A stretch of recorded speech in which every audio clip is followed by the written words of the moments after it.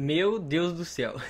e fala aí, rapaziada, eu sou o Tis e sejam bem-vindos a mais vídeo aqui no canal. E hoje eu quero conversar com vocês sobre o jogo do Benfica versus o Nacional. Mas antes, lembrando vocês que o primeiro link da descrição é do aplicativo OneFootball, um aplicativo de futebol onde você encontra tudo que você quer saber de futebol, é estatística, é notícia do seu time, é mercado de transferência, tudo que você quer saber você recebe no aplicativo. O primeiro link na descrição é de graça, pega iOS, Android, então baixa aí. Como eu já falei em outros vídeos, não tem como eu fazer o react aqui do jogo, porque as imagens do jogo têm direito autoral e eu posso tomar um strike, como eu já tomei uma vez. Então a gente só vai conversar sobre o jogo e algumas coisas em volta aí sobre a partida que eu quero conversar com vocês também. Outra coisa, antes que alguém comenta, nossa Ti, você só fala sobre o jogo do Benfica.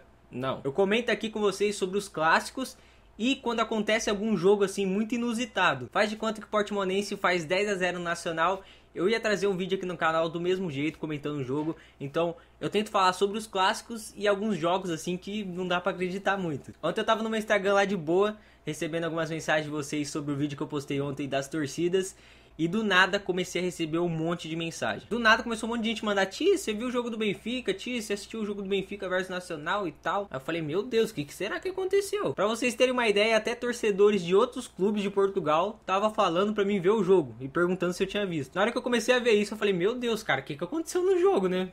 Aí eu fui ver o placar do jogo e eu me deparei com 10 a 0.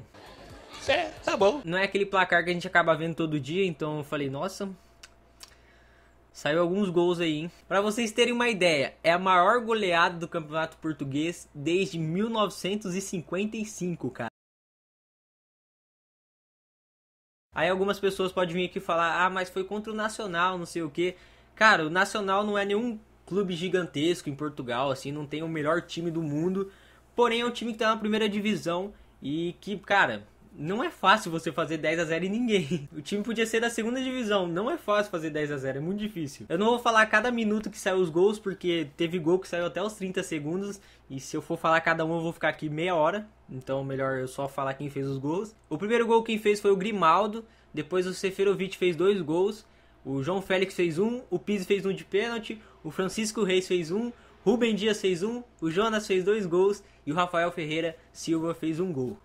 Deixa eu dar uma respirada, né? Porque é muito gol. Tem um atacante do Benfica que tá calando minha boca já faz alguns jogos, que é o Seferovic. Eu falei aqui nos vídeos atrás que, que ele não era aquele atacante de muita técnica, sabe? Muita qualidade. Ele é um atacante com raça, que briga, que faz gol, porém não é aquele atacante com técnica. Não que eu não goste de atacante como ele, eu gosto. Porém, eu só comentei que ele não tinha muita técnica. E depois que eu falei isso, o cara começou a fazer gol. Ele já tava fazendo muito gol, agora deslanchou de vez, fez mais dois gols e Ó, olha eu agora. Boca fechada. em vez de ser Harry Seferovic, eu acho que tinha que se chamar Seferovic Ronaldo. Só acho, só acho. Uma coisa que eu tava pensando aqui é que esse placar ele ajuda muito o Benfica. Não só pelos três pontos né, da, da partida, mas por tudo que envolve a partida, cara. Porque você faz 10 a 0 num clube, isso te motiva, isso te, te dá gás para você ir mais forte pro próximo jogo. E agora nessa reta final do Campeonato Português é muito importante porque se você olhar o campeonato, os três primeiros estão grudados ali no campeonato. Ninguém fala do Braga, mas o Braga ele tá ali grudadinho com os dois primeiros.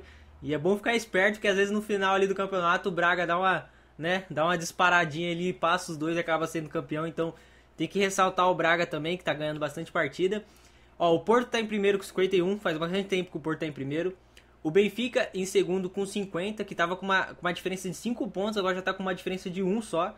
É bom o Porto abrir o olho. E o Braga com 49, com 2 pontos de diferença pro primeiro. Então, tipo, tá muito disputado, tá muito, muito bom de, de ver o campeonato português. E, cara, você fazer 10 a 0 num clube, isso te motiva muito para essa reta final aí pro campeonato. E isso também é bom porque ajuda no saldo de gols. Às vezes acaba o campeonato com os três primeiros empatados, vai que acontece, né? Nunca se sabe. E o número de vitórias de cada um também é o mesmo. E eu acho que o critério de desempate vai ser o gol. Eu não sei, o saldo né, de gols que fez e que tomou. Deve ser, eu não sei. E o mais engraçado é que eu tava vendo a estatística ali do jogo. Eu não sei se está certa, mas o Benfica ele chutou mais de 20 bolas no gol. E 14 foi pro gol. 14 acertou o goleiro ali, o gol. E 10 foram gols. Então, tipo, mano, é bem surreal essa partida, foi bem surreal. E eu quero saber de vocês o que, vocês acharam dessa partida, o que vocês acharam desse placar, como que anda o campeonato português para vocês. Eu quero saber a opinião de vocês, os comentários também fazem parte do vídeo, então comentem. Para mim eu não sei quem vai ser campeão, tá muito disputado. E isso é muito da hora de assistir. Então vamos acompanhar os próximos jogos aí do Campeonato Português. E eu quero saber a opinião de vocês. Não esqueçam de comentar aí. Também não esquece de deixar o like, se inscrever no botãozinho vermelho caso você não seja inscrito. E me seguir no Instagram que é Thiago Nanel Tix, tá na descrição aí. Até o próximo vídeo e tchau!